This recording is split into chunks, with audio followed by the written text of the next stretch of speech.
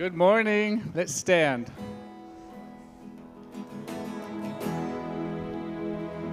Oh, hail the power of Jesus' name, let angels prostrate fall.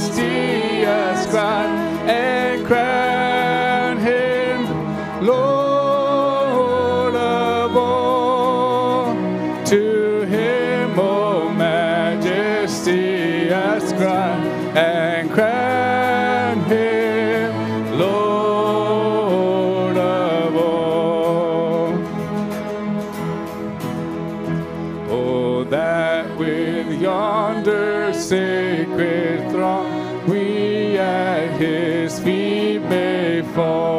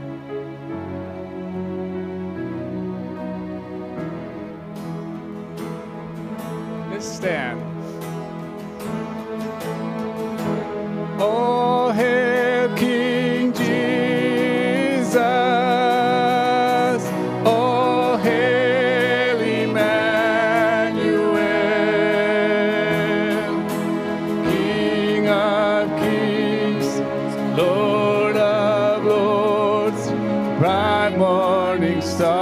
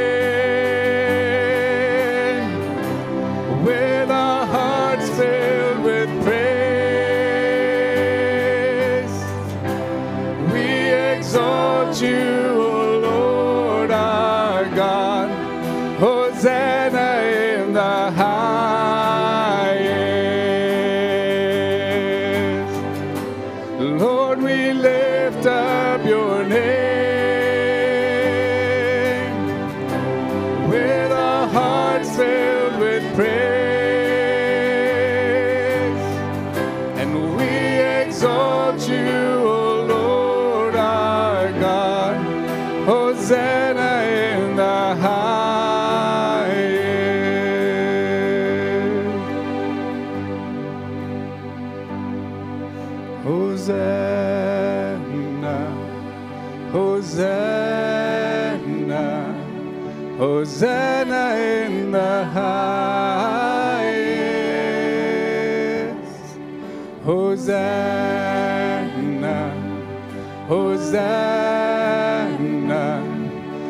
quiser.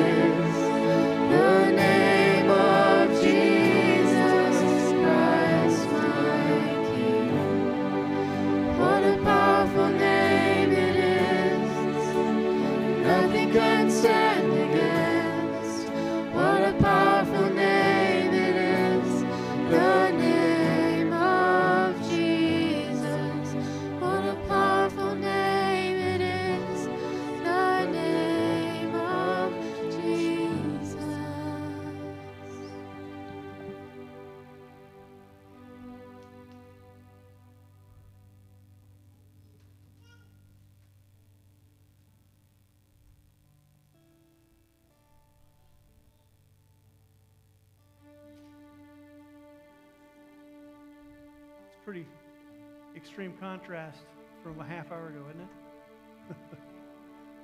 you're getting ready to go to church and you're putting on your stuff. Struggling to get out the door. Maybe you got an extra hour sleep, you stayed an hour later, right? and then we walk into this sanctuary and we walk in with God's people. And not that His Spirit hasn't been with you all week, because it has. But there's something about when we come together and lift up the name of Jesus that the power of his presence just kind of engulfs and, and surrounds us. You sense that this morning? I do.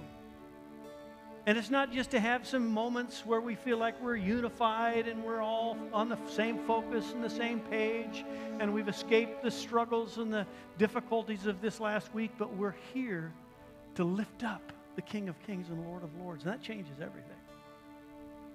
Everything. I, I, I need everything changed every day for me almost. so I'm going to pray that as God continues to move by His Spirit this morning, that He will quicken your heart and your spirit, and that you will sense and know the power of God, not from just history, not from just what you remember used to be, but what you can know now. the God of the here and now. We're going to pray for Janet Spurgeon. She's home with COVID. She's been through so much. You know, Janet sits back here and she's she's been through so and she I called her this morning and she had enough just enough energy to kind of talk and I prayed with her and I said we'll pray for her this morning. So let's start with that, okay? Lord, we love Janet because she is your child and And we love her because you give us love for her as a sister, as a part of this family. We lift her to you today. She's in desperate need, Lord. Physically, she's been broken down and she's weak. She needs strength. She needs a touch from you today. She needs not only the name of Jesus, but the presence of the Spirit of Jesus in that room with her right now. Lord, touch her by your Spirit. Raise her up so that she can give you glory as a result of your influencing and impacting her life today. May she sense your presence. May she sense our love as a family here for her.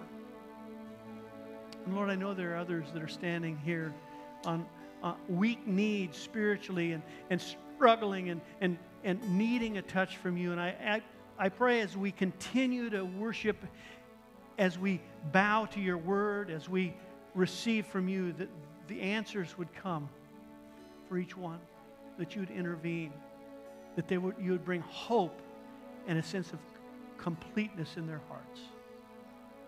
In Jesus' name. Amen. Amen. God's good, isn't He? You may be seated.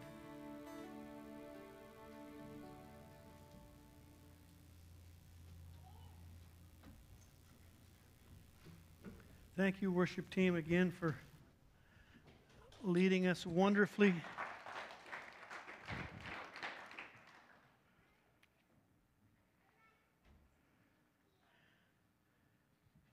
Man, we were singing a song there, and I, it took me back to when I was but a young young lad of 18. Dick, that was a long time ago, wasn't it? See, if you sit over here, don't sit over here because I'll pick on you. This is kind of my go-to spot. Dick just seems to like to be picked on, but yeah, he does. If anybody can handle it, he can. But we were singing uh, those songs about Jesus and name of, and I just remembered going to the altars. And again, there's nothing I've mentioned this before magical or supernatural about coming up to the front of the church, but it, it's a it's a it's a way of showing how serious sometimes we are to, to know and meet with God. And we'd, we'd go to the front of the church, us college age high schoolers back when I was uh, just a young Christian, and we would just soak in the presence of God. We just sing those songs.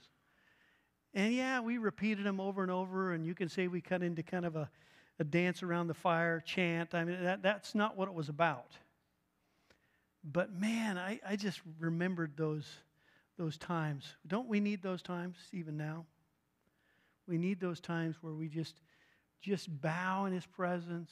Wednesday night was was a wonderful experience. If you missed it, we had a good turnout though. You, those of you that came, we had we had really a good turnout and and you all that came enjoyed it. You that didn't, feel no shame, no guilt unless you don't come next week. No. we're going we're to continue in our our life story th- uh, it was uh, Kathy and Dawn gave the shared their testimony. It was it was really powerful. Yeah, it was really good. The food's always great, but that's coming up. I just uh, also we've got the harvest uh, the harvest uh, party, the harvest outreach coming up in just a couple weeks, and so we need to get the word out. So you know, f- passing flyers, hanging flyers on doors. We've done that in the past. It does produce responses. That's the the reason we do it. We canvass the apartments over here. If you want to help uh, with passing some of these out to let the community know that we're going to ha- we're going to have uh, the illusionist Scott Wolf's going to be back here with us. We're going to do this to reach kids and families for Jesus, and so that's coming in a couple weeks. But we need you to come Friday morning. I don't know what you got going Friday mornings, but unless you're working, you can come have a time of fellowship and pass out some flyers here. We're going to meet at the church at 10 a.m. and uh, just uh, hopefully it's not raining, but even if it is, you have rain. If you have a raincoat, if none of you had to have umbrellas, because if you're a true Oregonian, I keep telling my wife this. She's got like 25 umbrellas. She's one of the only Oregonians I know. There it is, that uses an umbrella.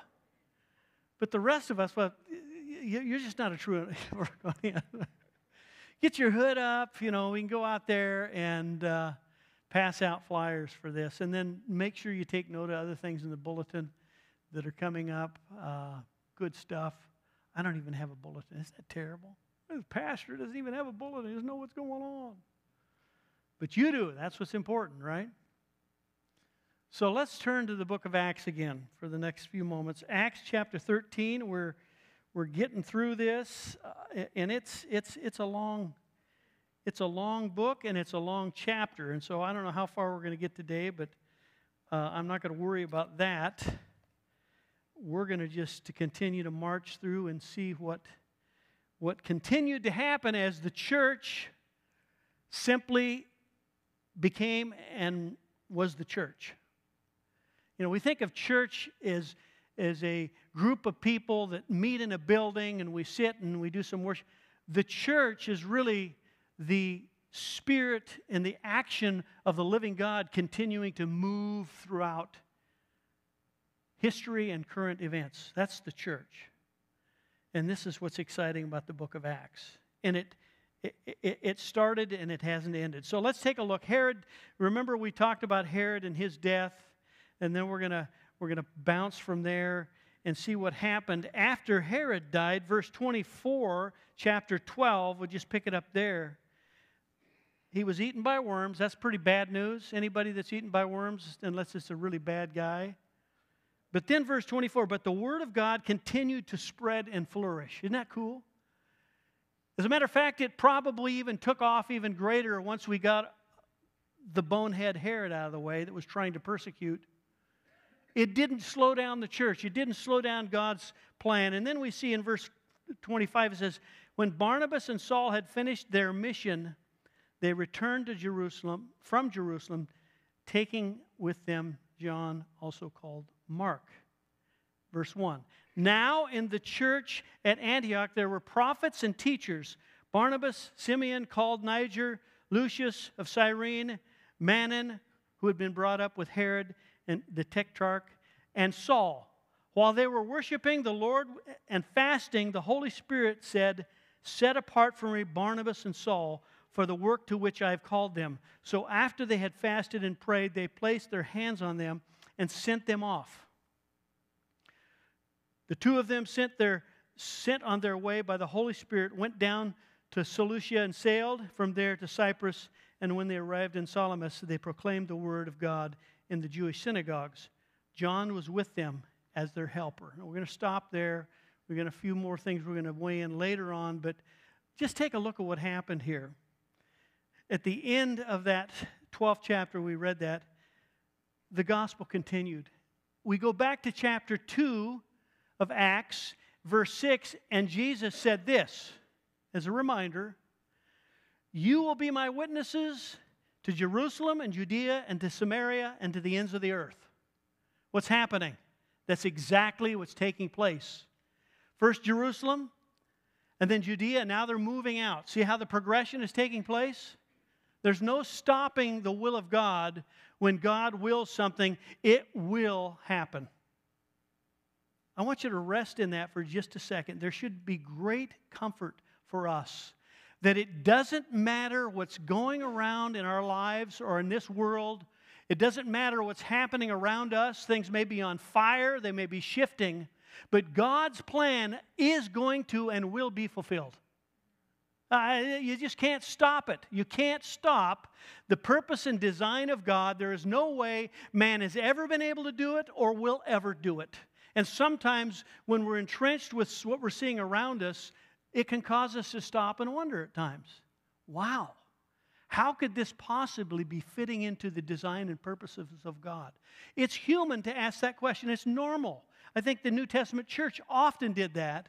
And then when they sat back and they began to allow the Spirit of God's Word and His Spirit to well up in them, they said, Nope, this is God's plan. We're, in, we're still a part of this thing. Matthew, Jesus said it this way. You've heard the scriptures, very common, but we need it now more than ever. Thy kingdom come, thy will be done on earth as it is in heaven. Jesus is teaching the disciples how to pray, and he begins show, telling them how to pray, and it was that God's will would be done. Well, why would we pray for God's will to be done if He's already designed His will and He's in full control of that? I believe the best way to interpret this is that we pray, Lord, may my, may my life conform to your will. May my purposes, may my future be enveloped in your purpose for me. May I not fight against your will. You know, that's what the world's doing right now, more than ever, is they're fighting against the will of God because God's will is that none would perish, but that all would come to know Jesus Christ. His will is that everyone, so he's pressing in and he's, he's encouraging us to, to conform to his divine plans and purposes. Do you, feel, do, you, do you feel sometimes, you don't feel very divine sometimes, do you? I don't. Do you, do you wake up feeling like you're fulfilling the divine purpose of God? it's hard to, to reconcile emotions and feelings with faith sometimes. And this is a huge statement of faith. We live by faith, not by sight. In faith, we move forward to fulfill the will and purposes of God in our lives, in spite of how we feel in our circumstances. Paul wrote this in Ephesians. This is, to me, one of the most profound and confusing verses in Scripture. You like confusion? I don't like confusion. But it can be confusing because it seems so predetermined. But it, it reads in this way In him we were chosen also, having been predestined according to his plan of him who works out everything with the purpose of his will he conforms us into the purpose. We've been chosen to fall in line with the purpose and design of God in our lives. Isn't that powerful? You don't really have to wonder what the will of God is in your life. Many people will wander around. What's God want me to do? What's He really got planned? You know what He wants you to do? He wants you to fall in love with Jesus every day. He wants you to focus in and ask the Holy Spirit to speak to your heart and life and give you faith to believe that what you encounter this very day is allowed by Him for His purposes. I've done the whole God, what, do you, what should I do here and there? And there are times where that we, we seek direction. We seek for God to open doors, close doors. We've all done that. We've, we, we cast out a, uh, what's it called? A, a Fleece, there you go. We have that. Fleeces are, you know, fleeces, uh, yeah, can be really confusing and weird. But God purposed and predestined every person to get on his plane, if you will, to eternity. We are called to step on salvation, if you'll see it as a great, a great big plane headed for heaven. He's called all of us, He's allowed all of us the opportunity to step in and go with Him. That doesn't necessarily mean that there are people that may as well just give up because God has predestined them to hell. Some people maybe believe that. That doesn't just doesn't sit with my understanding of the, of the character and nature of God. Now, if God wants to do that, and we see in the Old Testament He chose certain people for certain things, I'm going to weigh in on trusting that His purpose for me is for good and for a good life that is expressed in serving and loving Him that He has not predestined me for anything less than that. I'm going to buy into that. And sometimes we can scratch our head and we can wonder what is, what is God trying to do and why is He allowing those things? For, for instance, let's just look at what's going on in Israel right now and all the, the mass uh, uh, confusion and killing. The Hamas, you know what their purpose and will is in, in life according to their understanding of Allah? Is to take us out. Does that seem like the loving God that we serve? Their purpose is to destroy anyone that professes the God of Christianity or Judaism. What a sad, horrible way to live. My heart goes out to those, those ones that are caught in the, in the fold of that lie and that deception of the enemy. We should pray for the Palestinian people that have been influenced by that kind of understanding, that kind of worldview. It's horrible. But we, on the other hand, stand in the arms or, or, or rest in the arms of the predestination of the good news of Jesus Christ being manifested and fulfilled in our lives. It should be no surprise to us what's going on. This isn't necessarily a, a last days message, but I couldn't help it. I felt like God impressed upon me to put up Matthew chapter 26, a few verses, because this should not surprise any of us. Jesus said it this way Watch out that no one deceives you. For many will come in my name, claiming I am the Messiah, and will deceive many. There's so much deception today. Even, even the, the, this group of people would try to convince you that their truth is the only truth, that you conform to this truth that they understand in their radical Muslim faith. And what's interesting is you can see how deceptive it has become in our culture. How is it possible that we can have universities teaching this kind of doctrine and that students are buying into it? I mean, I don't have one word for that. It's just one word that, that, that works well stupidity. Absolute blind stupidity. Because even if they were honest students of history and even current history, they would understand that that is not true. That what they're proclaiming that Israel has done and is doing is not true. Jesus goes on, he says, You will hear of wars and rumors of wars. Wars have been happening since the beginning of time. This is nothing new. But Jesus is reminding us that there will not be a season of peace that will last. The 60s, we were trying to usher in peace for the first time in the world. How did that work out? There have always been, in the middle of that, there was the Vietnam War, World War I, World War II. Some of you who was around during World War II, some, there may be a few of you, you don't have to raise your hand. You, I mean, back then the church was talking about this could be that, yes, it was true to talk about the, the coming of Jesus is soon. It's sooner than it was. And the wars and the rumors of wars, but see to it that you are not alarmed. Now, here's the thing we have a mandate. We, God is telling us, Jesus is saying, don't get caught up in all this. Don't march anywhere proclaiming peace for anything. Stay close to me. My peace I leave with you. Stay the course. My will is for you to continue to serve me in spite of the news, in spite of the confusion, in spite of the wars. Don't be alarmed. I don't use an alarm clock anymore. Do you? my old in my old age i have this internal alarm clock i just wake up pretty much the same time every morning sometimes i wish i could have an alarm wake me up but this illustration is simple and it's basic. But we aren't to get rattled. We're not to, to jump up and go, oh, oh, what's going on? I, I'm going to be late. You know, what do I do? We should be the most peaceful people on the planet during the craziest times and seasons. If we buy into the, the the lie and the confusion, the, the, the, the, worry and the excitement, when we sit down with people and they start to download how horrible the world is and how we should be at the edge of our seat and how we need to wring our hands and be prepared, we should be able to sit back and rest and say, mm, this, is, this is nothing new. This is what God has predicted. This is, this is where we are in the time chart of God's perfect will being fulfilled says, Such things must happen, but the end is still to come. In other words, we're, we can't, we can't, this stuff's going to happen, but it's going to get worse. Now, Jesus could, everything has been fulfilled in Scripture for Jesus to show up at this moment.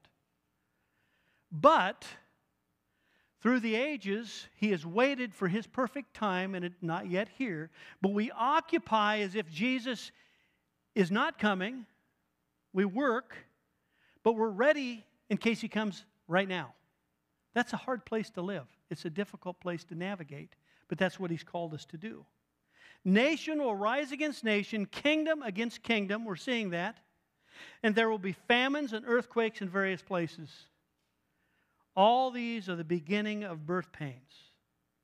Wow, he said this 2,000 years ago. Ladies, aren't you thankful that you don't have 2,000 years of birth pains.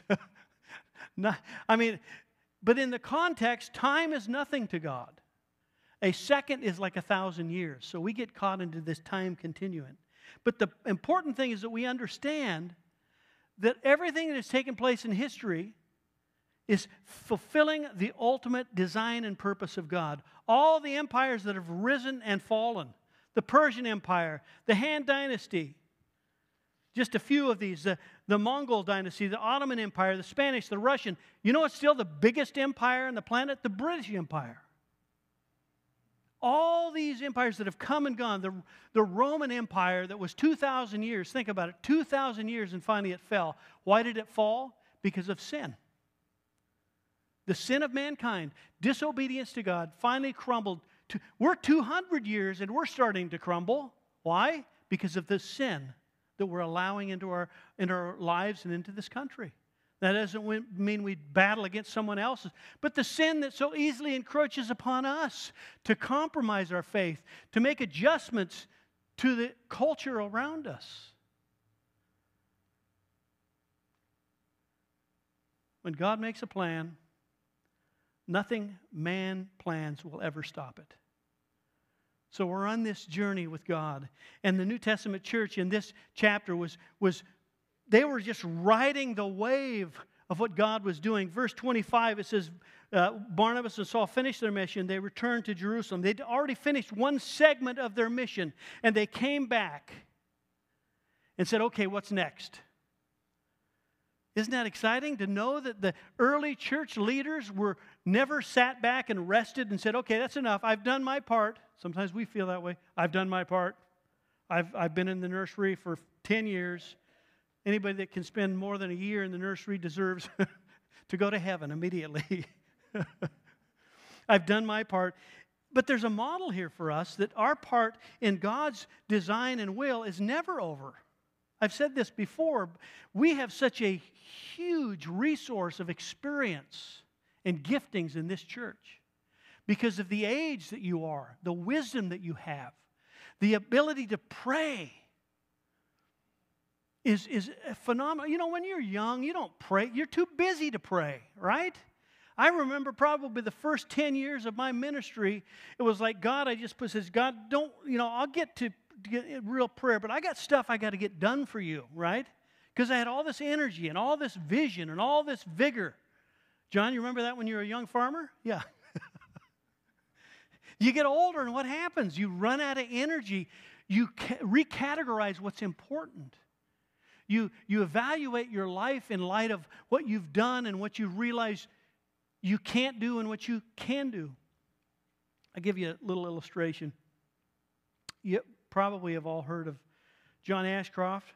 John Ashcroft, when, when uh, was it George Bush was president, he was his attorney general, right? Some of you are looking at me going, no.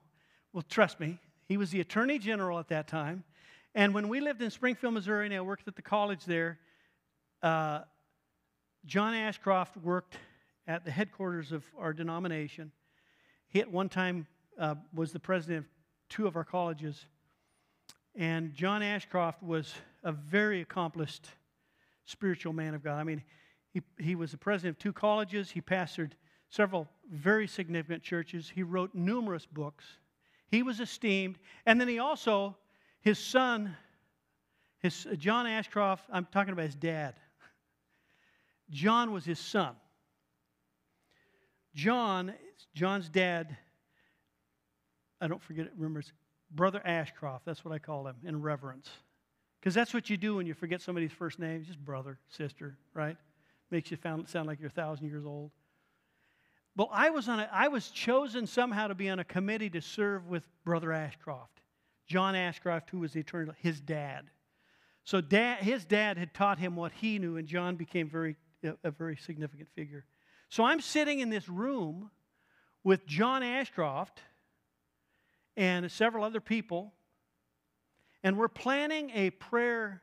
Uh, uh, we're planning a prayer vigil. We're planning to move into a season of prayer. This was about 2000, uh, the year uh, 1985.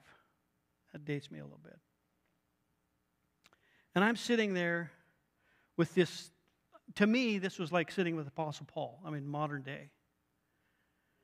And he looked at me and he said, Rob, he, said, he says, I've done a lot of things in my life. He was probably in his early 80s.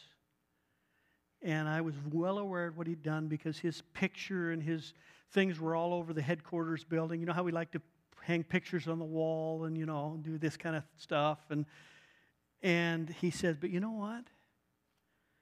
He says, This last year has probably been the most significant year of ministry in my life. I said, Really? He's no longer preaching. He's not writing. He's not a president of a college. He's not pastoring a big church. He says, I've discovered the power and the value of prayer. And he says, I have time now to pray without lots of distractions. And he says, it's a, it's a wonderful thing. Here's a guy that was like a shaker and mover, famous in our movement. You know, his son was became the attorney general, and he's saying that my season now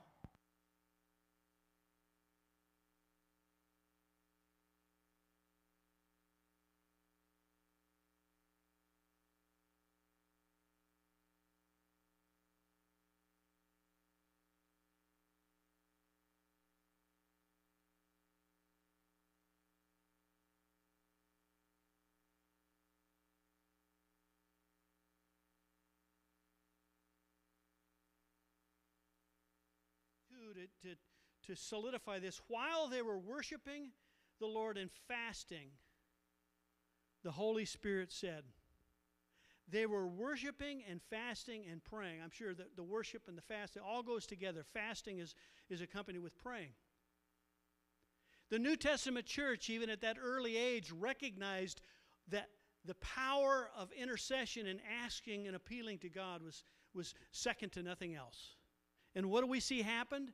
The Holy Spirit said. Now, I'm not saying there was an audible voice. How many of you ever heard of an audible voice of God? If you have, I want to talk to you. I'm really interested. I want to see what that was like for you. Most people never hear like Moses did. It's in our hearts. It's something that someone said that is quickened to us. And we think that that was the Holy Spirit. And so I'm not saying it was audible, but it was strong. And you know what the Holy Spirit said? I want you to set apart these two men to continue to go after and send them on ahead to Cyprus. I don't want us to minimize the missionaries that we support, the mission emphasis of this church, because a missionary is one that is set apart for a specific call. And the church is the place that should be sending out missionaries. I was privileged to be a part of a wonderful church that during a season of time, I have, I have colleagues, I have peers of mine, that there was a season where that church sent out many young men and women into ministry. Some are retired, some are still doing ministry. That is one of the greatest testimonies of that church, I think, of anything that there was a sending out that was taking place. And this virus, if you will, of the gospel, because it was spreading like a virus, it was, it was amazing what God was doing. And look at what happened previously in verse 1. It says they, they had prophets and teachers. The church early on already had distinguished that there were specific uh, gifts given to the church.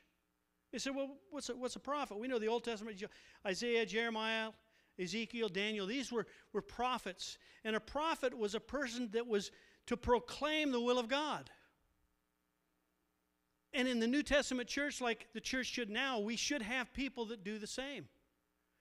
We think of prophecy as somebody that knows the future. That is not necessarily in the Old Testament, we saw that, but a bigger portion is for people that with passion that will stand up and say it the way it is not cut corners, not try and sift everything through cultural language that's acceptable, simply speaking the truth.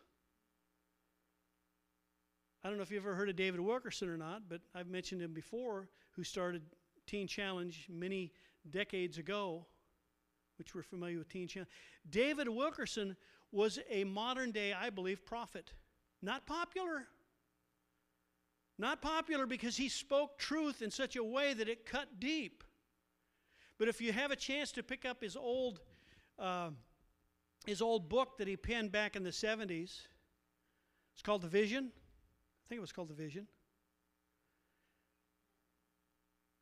And everything that the Lord showed him in that book has come to pass. Everything has been fulfilled. Now, I'm not saying that, that you're supposed to write a book. I'm not saying that you, but you may have a prophetic ministry that you are not even aware of because you've been afraid to and no one's helped you, encouraged you. If you find yourself speaking truth in love, but ver- speaking truth very directly, you maybe have a bit of that in your own life. So they had prophets, and then they had they had prophets throughout Scripture. Ephesians, Paul would later write this. Paul himself would say, and he himself gave some apostles, some prophets, some evangelists, some pastors, and some teachers. You can read that in Ephesians. They see an injustice in a situation and they speak directly to that. They speak it with passion. That's what a prophet does. Can you see this New Testament church gathering together? It would be so different than we do because there would be some real heavy stuff going on. There would be some sending out going on. Now we're so sensitive to somebody getting into our safe space that if anybody tries to tell us anything directly, what gives you the right? Who do you think you are? right? It's not about me, it's about Scripture and it's about what God wants to say to our hearts. I've had prophets speak to me before, not often, but I've had some people speak directly to an area in my life that needed to change. I still think we need that. Now, I'm not looking for that, and I hope my life doesn't merit somebody having to give me some strong prophetic word. But we need to understand that this is biblical stuff. This isn't just some na na, that was for then, this doesn't happen now. Yes, it can. The problem is it's, there are so many abuses of it that nobody trusts any of it anymore. Does that make sense? There are people that have abused the gifts and the callings of God that He's given them, and that's not God's fault, that's their fault. But sometimes the church is the one that hurts because of it. Jeremiah chapter 20, verse 9 says, If I say, I will not mention him or speak any more in his name, there is in my heart as if I were a burning fire shut up in my bones, and I am weary with holding it in. I cannot hold it in. That's what a prophet, it burns in his bones, it burns in his conscience. Something has to be spoken. What's happening now in the world, there are people in the church that are set, standing up and speaking truth harshly. It needs to happen. And then they had teachers, different than prophets. A teacher with the, the ability to explain something using understandable language that's relevant to the listener. So important. Teaching is critical. We have teachers in this church, we have gifts in that way. And God wants us to utilize and listen and be led by them. A teacher is one that is able to use life illustration. Jesus was the greatest teacher that ever lived. He's the model teacher. And what did Jesus do? He used the circumstances around the people and he shared in parables and stories and used illustrations that people could understand. And most importantly, he did it out of love and compassion a genuine concern for the outcome of someone's life. That's what a teacher is. A real teacher, according to biblical truth, is one that comes alongside and mentors and leads by example as well.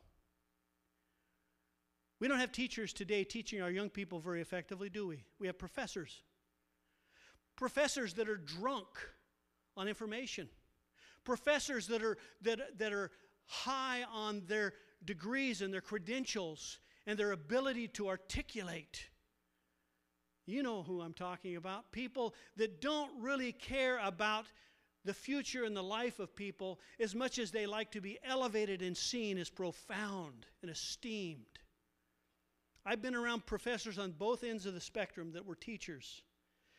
I taught for a while in a Bible college, and I had colleagues that taught, and you wouldn't find a more humble, sincere, loving people because they had the Spirit of Christ living in them and they were given the gift of teaching. I've been on the other end, where I've been at a university doing graduate work with secular professors that were as shallow and selfish and narrow as anyone I've ever met. It's the world we live in. It's tragic. But the world that the New Testament church has called us to, Jesus has called us to, is to not model that world, but to model his ideology, his philosophy, if you will, his mandate for the world. Because Scripture says that heaven and earth will disappear, but my words will never disappear. Isn't that wonderful? You don't have to have a high education to understand that, just an open, receptive heart. Just someone that is, wants to know the truth. And Jesus said, The truth will set you free. Let me interpret that. What that says is everything else is gone. It, it will be history. It will never even be remembered. But the words of Jesus, the life of Jesus, will live on and give life for eternity. Isn't that powerful? And those words are, are simple enough for a child to understand. A little child can understand, even at an early age, that they need a Savior because they know they're naughty by nature. we have a naughty nature. We don't want to obey, we want to do what we want to do. And when they hear the good news of Jesus, how many of you knelt your, your, your heart before the Lord when you were very young? Raise your hand if it was before 10 years of age, before you were 10, maybe 15. You innately knew, Dick, I was waiting for you to raise your hand. You, you knew at a young age that there was something wrong with you. And the Holy Spirit quickened that. And because you got the word of truth early, my brothers and sisters that have been in the church for many, many years, maybe your whole life, Lord, help us to experience the passion of the power of His Word again so that we just don't take it for granted. We take our salvation for granted. This is all I've ever known. I have never known that Jesus didn't. I've always known He's loved me. Sometimes kids out there, they have never heard those words. We've heard it thousands and thousands of times. And we just assume that the world around us is, is filled with the at least the words and some under they don't. That's why we love doing these kids things. Some of these kids, Jesus loves you. Jesus died for you. That's a brand new news to them. Revelation says, Then I saw a new heaven and a new earth. And the first heaven and the first earth had passed away, and the sea was no more. Trust me, if Scripture is true, and it is, everything we see, feel, and touch outside of the spectrum of the kingdom of God and His mercy and His presence is gone. It will one day be gone. It will not last.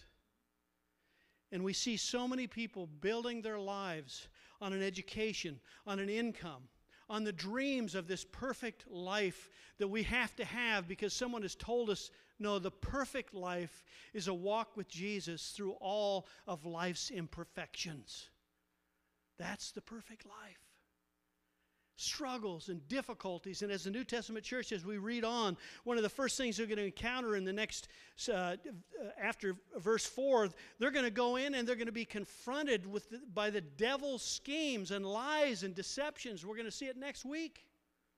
There's going to be one that was called Bar Jesus. Bar Jesus.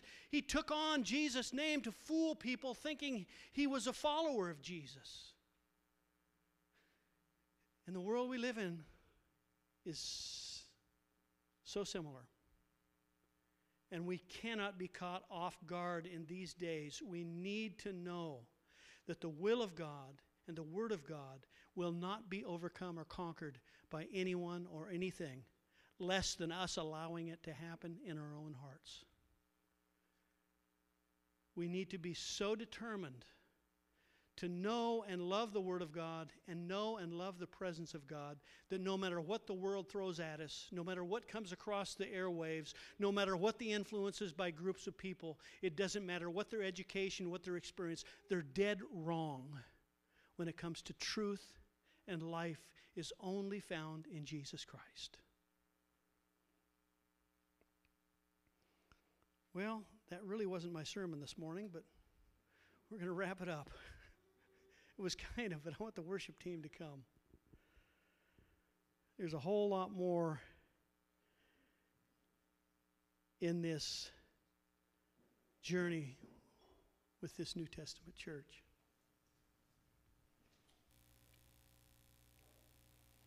You know, I think sometimes we we have taken the spectator sport to such a high level, and sometimes it even happens in the church, to where we disengage with our genuine involvement with Jesus, and we settle for just observing. I, I'm, a, I'm one of the greatest uh, recliner chairbacks in the world. You know, I'm, I'm in my recliner and I can criticize my guy, and it's like, what a bonehead! What you shouldn't have thrown. They should have known. But I'm not there on the field. I couldn't even get. I, I mean, I'd be dead in the first five seconds. And sometimes, as a church, we can even criticize, you know, the church uh, as a whole, and we can sometimes become uh, dormant in our own faith because we think that, well, as long as we're, we're long, as long as we're on the train or on the plane to heaven, that's all that matters. Got my ticket. Jesus is my Savior.